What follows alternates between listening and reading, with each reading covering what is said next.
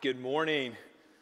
Great to see you, New City. For those of you joining us for New City Live, grateful to have you joining us online today. Hope you'll continue to at 10 a.m. online as we broadcast from our South Park location. We're continuing in our study of the life of Daniel. And if you have a copy of the scriptures, I want to encourage you to go ahead and open up to Daniel chapter 6 as we start part two of our study. Uh, Daniel is first person historical narrative. So Daniel is telling us his story, and we made it all the way up through chapter 5, and we took a little break there for our generosity series, and we're going to jump back in today in chapter 6 and we'll go all the way through the end of the book in chapter 12. So, two parts here, uh, two, two uh, messages on chapter 6, and then we'll be into uh, apocalyptic visions. Uh, so, we'll call November Apocalyptic Month and look at the four major visions uh, of the book of Daniel. When you get to chapter 6, uh, would you stand to your feet and let's read uh, the Word of God together? In the early church, when the scriptures were read, oftentimes people would pop on their feet in reverence to God's Word and His authority over their life. The Word of God to you today, Daniel chapter 6, verses 1 through 16. Darius the Mede decided to divide the kingdom into 120 provinces and he appointed a high officer to rule over each province. The king also chose Daniel and two others as administrators to supervise the high officers and protect the king's interest. Daniel soon proved himself to be more capable than all the other administrators and high officers because of Daniel's great ability. The king made plans to place him over the entire empire. Then the other administrators and high officers began searching for some fault in the way of Daniel, the way that he was handling government affairs. But they couldn't find anything. They couldn't find anything to criticize or condemn. He was faithful, always responsible, and completely trustworthy. Verse 5. So they concluded our only chance of finding grounds for accusing Daniel will be in connection with the rules of his religion. So the administrators and high officers went to the king and said, Long live King Darius. We are all in agreement, we administrators, officials, officers, advisors, and governors, that the king should make a law that will be strictly enforced. Give orders that for the next 30 days, any person who prays to anyone, divine or human, except you, your majesty, will be thrown into a den of lions. And now, Your Majesty, issue and sign this law so that it cannot be changed, an official law of the Medes and the Persians that cannot be revoked. Verse 9. So King Darius signed the law. But when Daniel learned that the law had been signed, he went home, knelt down as usual in his upstairs room, with his windows open towards Jerusalem. He prayed three times a day, just as he had always had done, giving thanks to his God. Then the officials went together to Daniel's house and found him praying and asking for God's help. So they went straight to the king and reminded him about the law. Did you not sign a law that for the next 30 days, any person who prays to anyone, divine or human, except you, your majesty, will be thrown into the den of lions? Yes, the king replied. That decision stands. It's an official law of the Medes and the Persians that cannot be revoked. Then they told the king, That man, Daniel, one of the captives from Judah, is ignoring you and your law. He still prays to his God three times a day. Hearing this, the king was deeply troubled, and he tried to think of a way to save Daniel. He spent the rest of the day looking for a way to get Daniel out of this predicament. In the early evening, the men went together to the king and said, Your Majesty, you know that according to the law of the Medes and the Persians, no law that the king signs can be changed. Verse 16. So at last the king gave orders for Daniel to be arrested and thrown into the den of lions. The king said to him, May your God, whom you serve so faithfully, rescue you. The word of God to you today.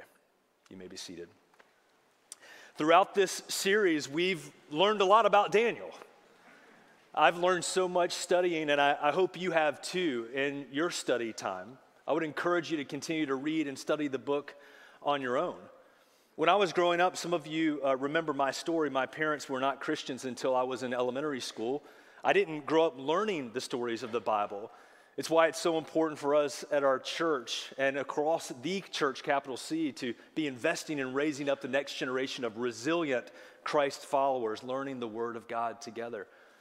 I didn't learn this, the scriptures until a little bit later on in life, and what I learned about Daniel was about this moment. And many of you know Daniel for this moment too, that's captured in Daniel chapter 6. Daniel and the, fill in the blank for me. Yeah, you, you learned that too.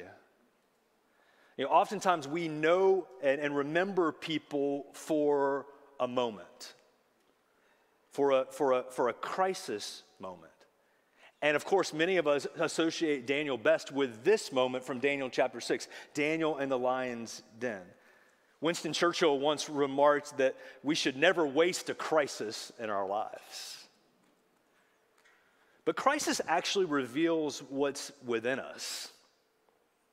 Crisis moments like this moment don't make people, they just reveal what's already in people.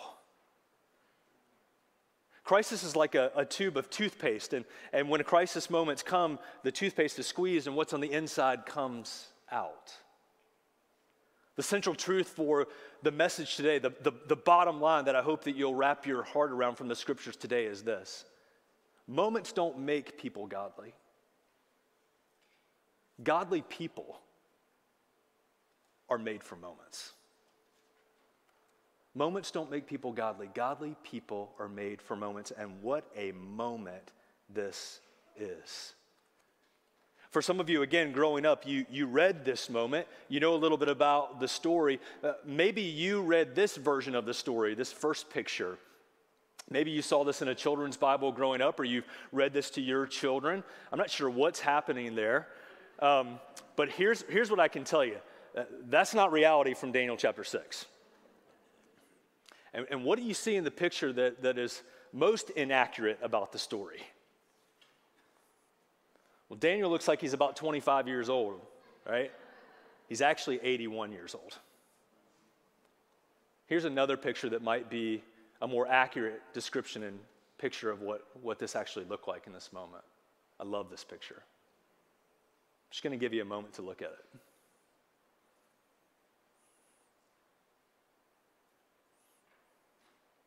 What do you feel in this, in this moment? I'm drawn to the, the male lion there in the middle that's locking eyes with Daniel. It's almost like God is speaking to him. I'm, I'm drawn to Daniel's posture. What is Daniel's posture here? Submissive. He's got his arms behind his back. Can't tell if they're bound or that's not in the scriptures here, but he's got his arms and his back. He's not, you know, we don't see Daniel here trying to climb the walls and get out. He's, he's staring down the lions. Wonder what you feel in this moment. You know, the reality is, Daniel was made for this moment. If we only knew Daniel for Daniel chapter 6, Daniel and the lion's den, we, we would miss so much of what God wants to say to us about this moment, about this narrative. If we go back and read the first five chapters, and if you've, you've missed the series so far or you're just catching up, go back and listen and read the first five chapters when we read the story of Daniel, we recognize that, that Daniel has stared down death just like this multiple times. We recognize that he's now in his early 80s, and this isn't the first moment that he's faced of, of crisis that's revealed what's really inside of him. For a little bit more context for where we are in the scriptures here in chapter 6, um, let me just tell you a little bit about the Medes and the Persians because in the first two verses here we read about Darius, which was actually a throne name for Cyrus. If you go and study the book of Daniel, you'll see these two uh, names used uh, simultaneously, and they're the same person. Darius was the throne name for Cyrus uh, the Mede. And, in, in, Jim Collins' Sentinel work on organizations and, and why they fail, he, he wrote a book called uh, um, How the Mighty Fall.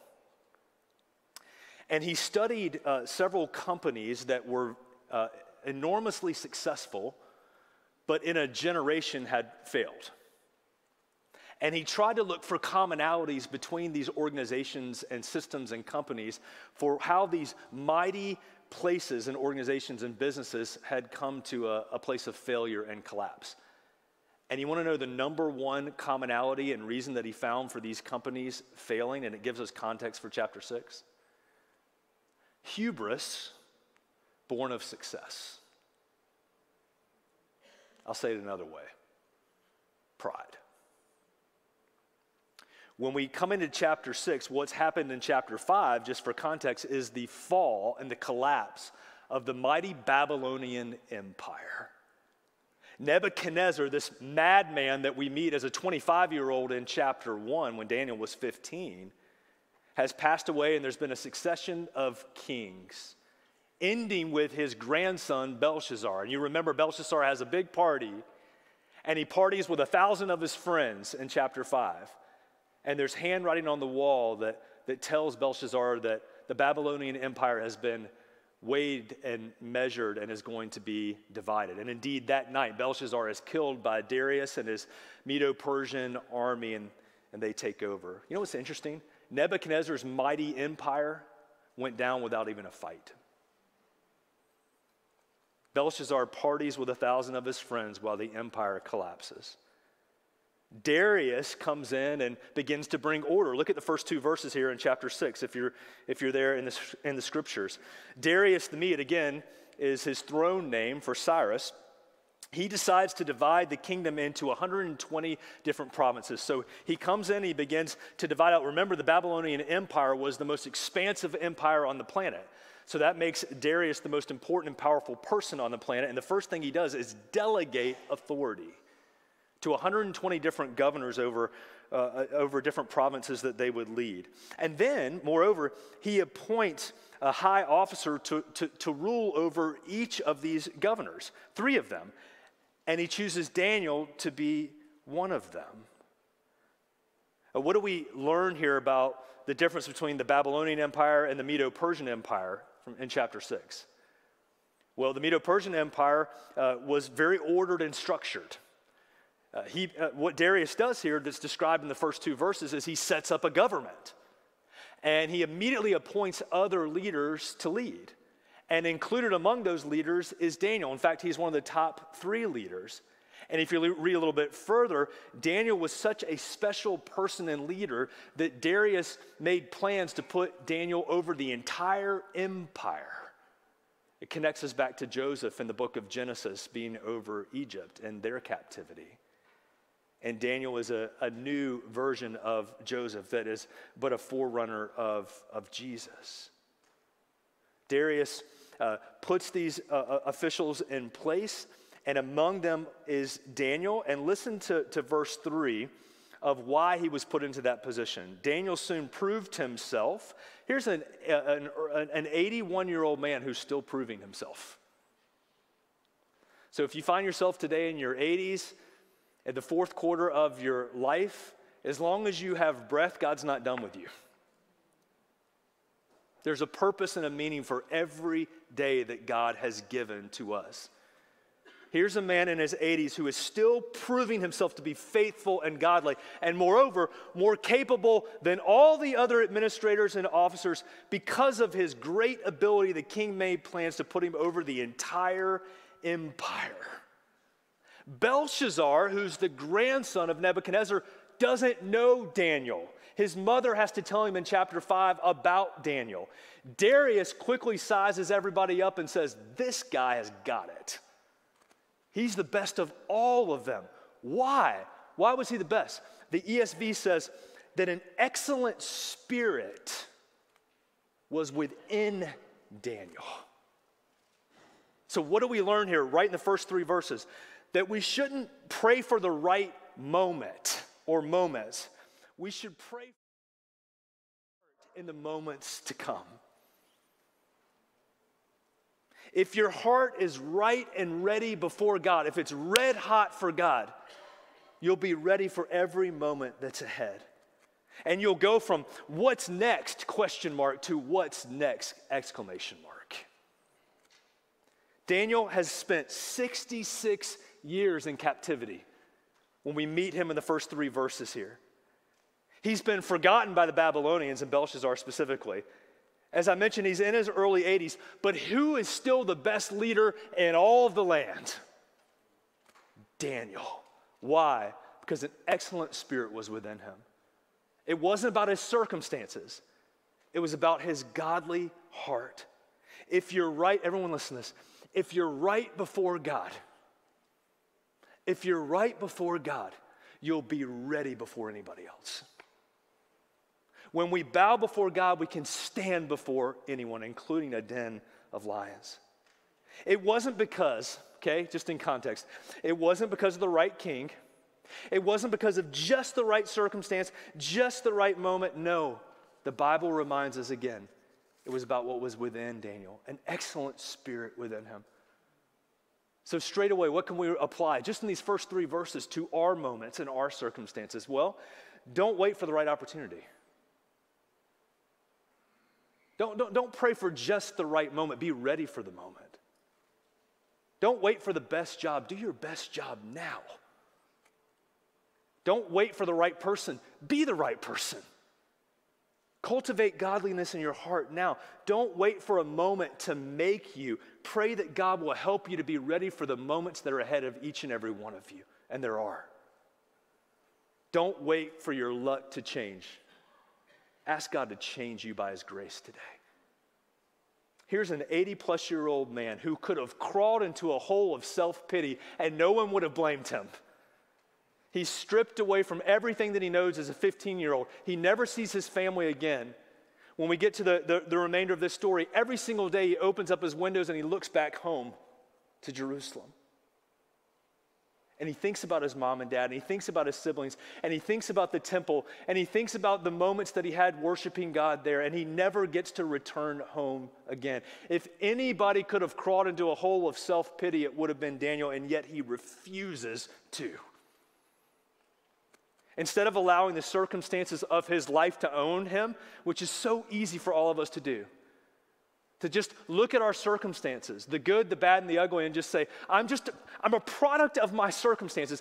And if I would just been born at a different time and would have met a different person and got a different job, I would be different. But we see from Daniel's story here that that's not true at all. Daniel chooses to cultivate godliness in his life. Instead of allowing his circumstances to own him, he refuses to give up on God. Some of you are close to giving up on God today in the moments that you're experiencing. Don't give up on God. Don't let go of what God is doing in your life, even in the moment that you're experiencing right now. Do you remember those, those three pivotal words in chapter 1, verse 8? If not, go back and, and read it this week. First three words in Daniel chapter 1, verse 8. But Daniel resolved as a 15 year old. He's 81 years old, and he's still resolving to follow God no matter what. All kinds of things have changed around him. But God has continued to cultivate his life in Daniel's heart. You know, the most important piece of property in your life is not any piece of land that you own or your house, it's the heart and life that God's given to you. The, the, the, life that God's given to you is a gift, not to be owned, but to be stewarded. To be lived, as Jesus said, to the fullest. In Jesus, is life and life abundantly, overflowing.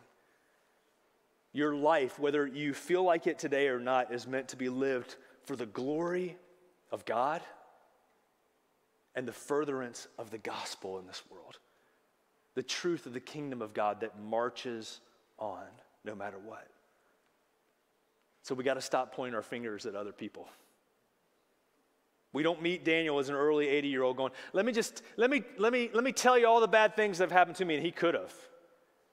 We don't meet him pointing fingers and, and, and, and making excuses. We don't find him making uh, or finding reasons to justify his own sin or selfishness.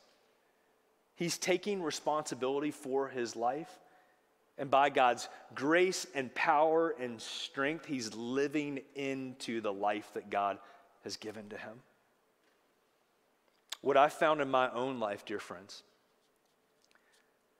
is that God can't change my heart unless I give him permission to. That God has given me agency, he's given you agency to make a choice to submit to his will or not. And if I refuse to take responsibility for the life that he's given to me, then it's going to be very difficult for me to follow him no matter what. If you think you have an excuse for not following God, think again. Again, Daniel's been enslaved now for 66 years. He's been separated from his family.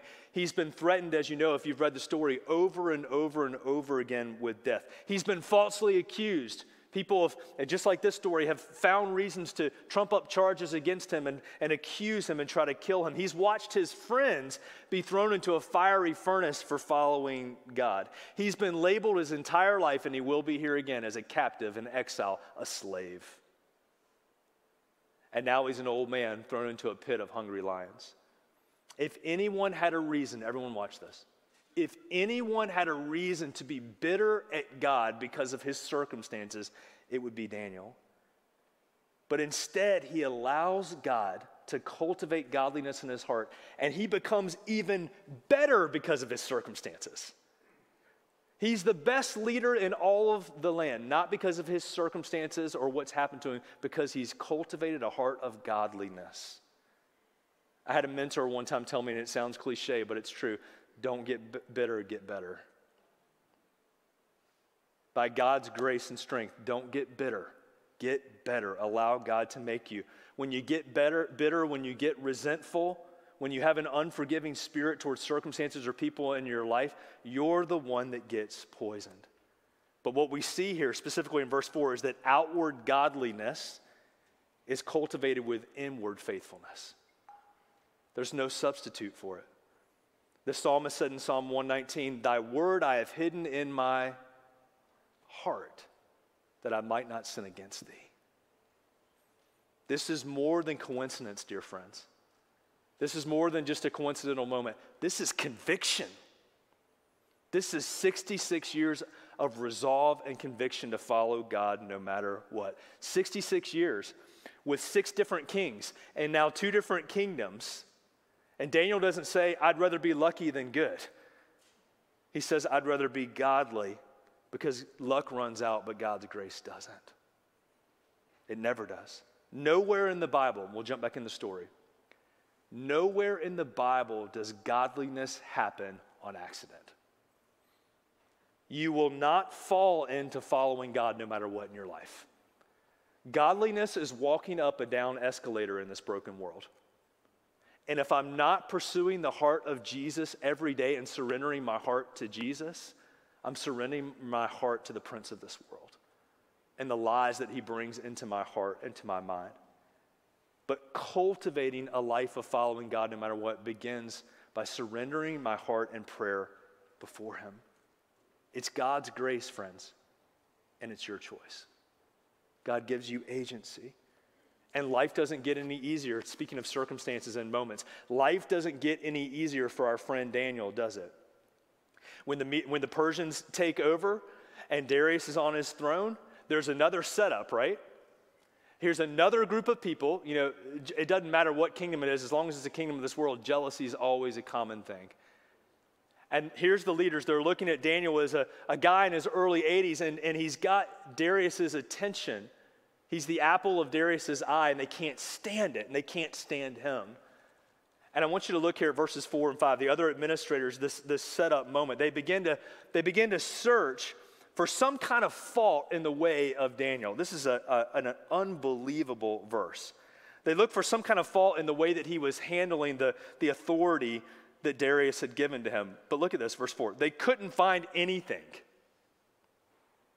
They couldn't find anything to criticize or condemn. Wonder if we could say that in 2021 about a politician. They couldn't find anything to criticize or condemn. And why? Why could they, could they not find anything? Look at these words. He was faithful, always responsible, and completely trustworthy. That comes from within. The circumstance change, the players change, the kings change, the kingdoms change, but Daniel doesn't. His heart of faithfulness, of resolve, of trustworthiness. And so look at verse 5. Here's what they decide. Our only chance of finding grounds for accusing Daniel and convicting him will be in connection to the rules of his religion, which actually was about a relationship that Daniel had with the one true God that they didn't understand. Basically, what they say is the only way we're going to get this guy is something in connection with his faithfulness of following his God. Now, here's a question for us with verse 5. Maybe just write this down in the margin of your Bible or wherever you're taking notes if someone were trying to convict me of faithfulness, would they find enough evidence in my life? If someone were trying to convict me of following Jesus, would they be able to find enough evidence in my life? Daniel is faithful. He's godly. So they try to convict him of godliness. It wasn't because he was smart. I'm sure he was. It wasn't because he was experienced. Of course he was. It wasn't because he was political. It wasn't because he was handsome or lucky. It was because, look at verse 4, it was because he was faithful. So they hatch this, this, this plan. All the other officials do. They, they, they go to Darius and they, they appeal to Darius's pride and his own hubris and they say, Darius, over the next 30 days, we think it's a great idea that no one would pray to anyone or anything other than you. And evidently, once that ordinance was passed in the Medo Persian Code, it could not be revoked. Now, what they don't tell Darius is that we're trying to trap Daniel. We're trying to accuse this leader that you've got your eye on. They just tell him, hey, it seems like a good idea to establish your authority that no one else should be able to pray to their God. And he says, okay, yeah, that, that, that, sounds, that sounds like a good idea. And so he signs this law into being. And then we get to this setup moment. The, before we get to the lion's den, this is the context of how we get here. And before we jump into verses 10 through 16, let me just talk for a moment about how we handle our own moments. You know, how do you handle moments, especially crisis in your life? Let, let, me, let me offer three ways that, that people typically handle crisis or moments like this of lion's dens. The first is that they panic, right? And maybe this is you. When you're in a lion's den, when you're in a crisis moment, whatever that may look like for you. It might be a, a, financial thing, it might be a relationship thing in your marriage, it might be a diagnosis that you've recently received, it might be a, a meeting that's waiting on you this week, it might be a, re, a rebellious child. It, I don't know what it is for you, but whatever that moment is, people typically respond in, in one of a couple of ways. And the first one is that they panic. And when you panic, when you panic in your lion's den moment, you try to take control of the moment. This is, I'm just going to confess to you, this is my go to move. Okay? When the going gets tough and there's, you know, everything's on the line and whatever, I want to grab the controls of the moment. I, I, I, want, I want to be in control. And oftentimes, what that leads to, if any of you struggle with this, is anxiety. Maybe you couldn't name that emotion or that feeling, but that's what it is. I feel, I feel anxious. I feel fearful because in my lion's den moment, I've, I've tried to take control and I'm, I'm, I'm panicking. And some of you, in the moment that you're in right now, or in a moment that's coming up in your life, because you guys have heard me say you're either in a crisis, you're coming out of a crisis, you're going into a crisis. That's the reality. Jesus said it this way In this world, you will have trouble, but take heart, for I've overcome the world. If you're not in a crisis, you're probably just coming out of one, or you're getting ready to go into one, whatever that moment is for you.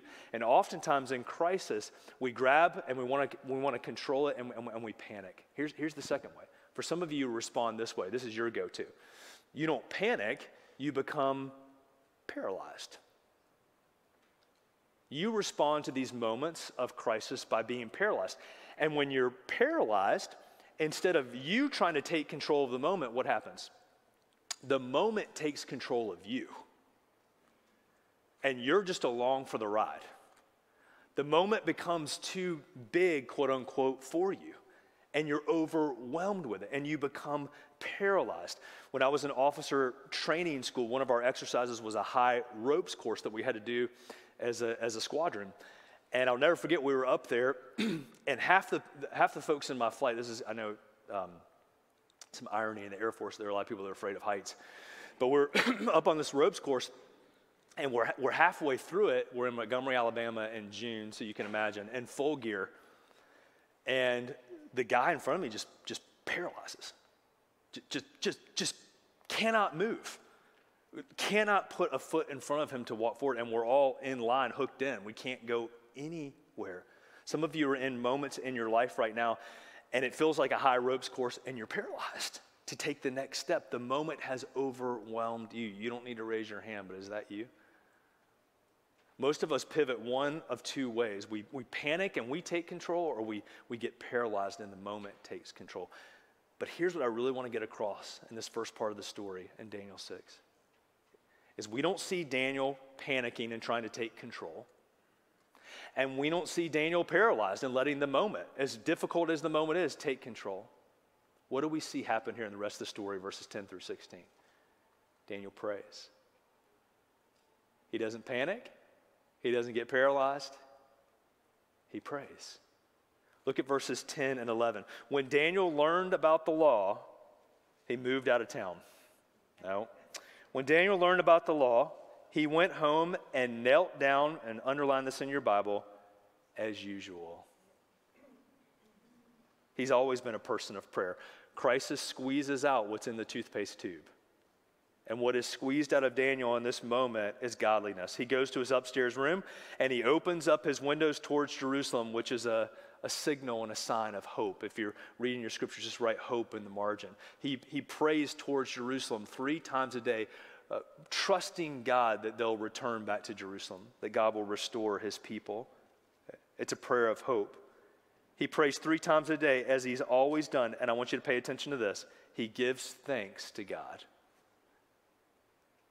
a warrant for his death basically has just been signed, he goes home and he prays. And he gives thanks to God. And this is more than just three different prayers that he prays. What we see here, guys, is a posture of dependence and surrender on God. It's surrendering his heart constantly, which is what God's calling you to, of course, in your life, in your moment. So, of course, God wants you to pray the act of prayer. But what is prayer? Prayer is constant surrender and dependence to God, it's communion and fellowship with you and with God. And oftentimes our prayers are like this God, would you please, would you please change this circumstance? Daniel doesn't pray that. He looks towards Jerusalem.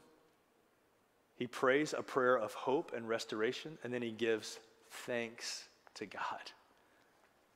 He gives thanks for however God is working right now. I don't understand it. I don't know why these guys are after me. I don't know why I'm going to be you know, threatened with death yet again as an early 80 something year old, but I'm going to give thanks to you because whatever happens, it's all good. Paul said it this way For me to live is Christ and to die is gain.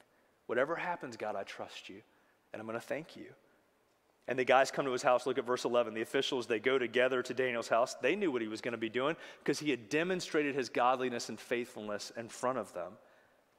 And they find Daniel praying, and look at the last part of the verse here, verse 11, and asking God for help. The favorite prayer that God loves to hear from each of your hearts, you want to know what it is? It's one word help help. Daniel goes and he demonstrates his dependence and his surrender to God. That's what prayer is. It's a posture of constant surrender. And you know what it is? Back to the Jim Collins uh, hubris born of success. It's the antidote to hubris. Prayer is the antidote to pride and hubris. And instead of asking God to change his circumstance or get me out of this moment and change all this, he gives thanks to God and he asks God for his help, whatever your will is. Whatever your will is. We don't, here's the truth, guys. We don't need to take control of the moment, and we don't need to allow the moment to control us because God's with us. And through prayer, God helps us and He prepares us and He cultivates His life within our life so that we can be faithful and wise and dependent and surrendered in whatever moment you're facing in your life. We ask Him to change us before He changes our circumstances. Just parenthetically, for some of you right now, God's not changing your circumstances because He wants to change you and you keep praying the prayer, God, change my circumstances, change my circumstances, change my circumstances. And not that He won't answer that one day, but maybe the reason why God's not answering that prayer is that He wants to do something so much greater than that within you. He wants to change you. Look at what happens next. Let's finish here, verse 16. So at last, they, they, they, go to his house, they find him praying. They, they go back, of course, right away to Darius and say, Hey, this guy, and look how they refer to him, by the way. That man, Daniel, such contempt. That man, Daniel, one of the captives from Judah, one of the slaves, he's praying to his God and not to you. And look at Darius's heart here. Darius's heart is broken. And he looks immediately for a way to find out of this. How can I rescind the law and revoke this and save Daniel? And finally, verse 15, all the, all the officials come to Darius and they say, hey, if you don't, if you don't follow through on this, basically you're not, you're not acting as a Medo-Persian king. You're not fulfilling your kingship, and it could be Darius's authority on the line. So he goes through with it. And verse 16, we'll finish here. So at last the king gave orders for Daniel to be arrested and thrown into the den of lions. And then the king says to him, Amazing, may your God, whom you serve so faithfully, rescue you. The very last thing that Darius says to Daniel before he closes up the den of lions is about Daniel's faithfulness. Within that short period of time since Darius has come into power, he's seen the inner faithfulness and godliness in Daniel's life. And I think maybe he knows this, our bottom line today that moments don't make people godly. It's not the circumstance or moment in your life that makes you godly. Godly people are made for moments. Moments just like this. Moments that, that God might be putting in your life right now, circumstances. I, I, wonder, when you look at this again as we close, what that moment is for you. And I wonder what your response will be. Are you going to panic and take control and try to climb the walls? Are you going to get in the fetal position and be paralyzed by the moment? In prayer, will you submit to the will of God and trust that God is with you and God will rescue you no matter what? Let's pray together.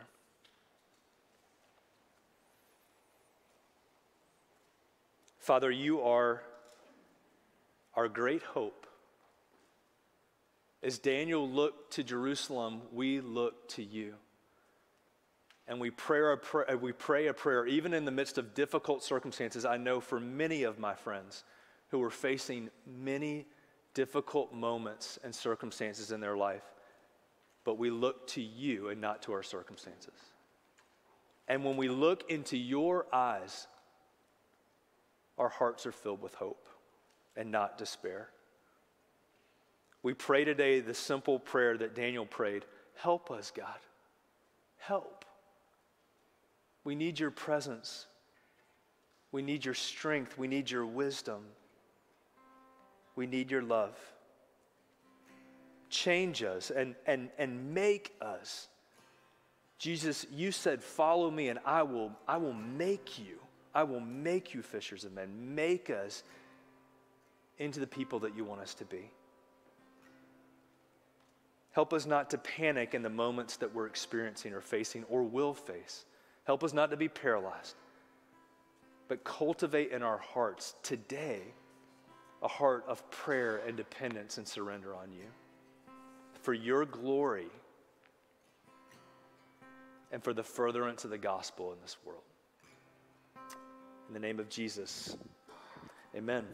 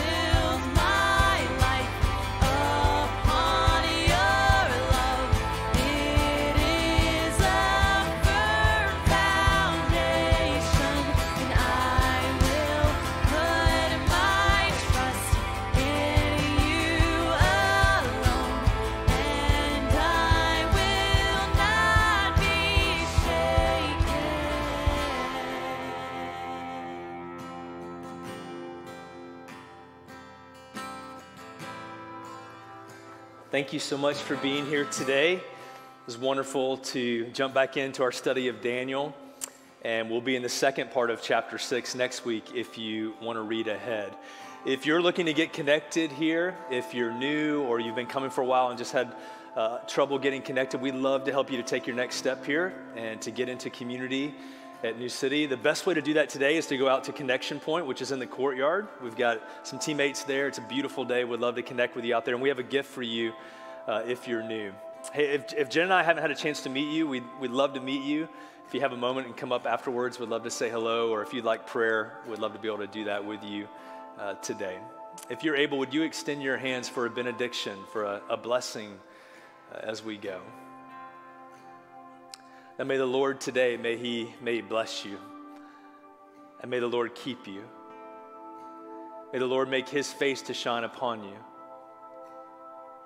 May the Lord be gracious unto you and, and lift up his countenance, his attention towards you. And may the Lord today and all throughout the week fill you with his peace and his mercy and his presence in every moment that's ahead of you for the glory of Jesus. Amen. Amen. Love you, New City.